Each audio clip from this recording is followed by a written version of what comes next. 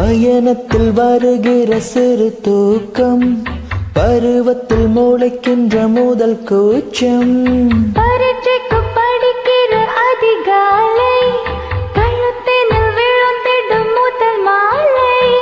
புகைப்படம் எடுக்கையில் திணறும் புன்னகை அன்பே அன்பே நீதானே.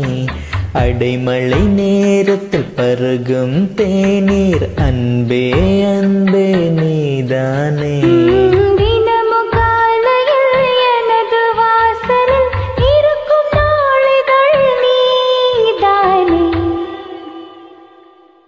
பேருந்தில் நீ எனக்கு ஜன்னலோரம் பின்வாசல் முற்றத்திலே துளசி மடம்.